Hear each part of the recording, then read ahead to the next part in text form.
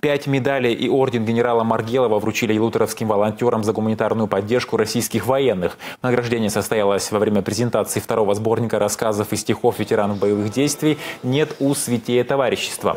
Фонд «Защитники Отечества» подарил издание городской библиотеки. На встрече присутствовали родственники участников спецоперации и волонтеры. Добровольцы плетут сети, шьют и вяжут, делают окопные свечи и сухие супы. Один из местных предпринимателей ежегодно отправляет на передовую по 200 200 килограммов. Ну, даже если там участник э, спецоперации там э, поранился, он э, у нас, как считается, что мед является хорошим антисептиком.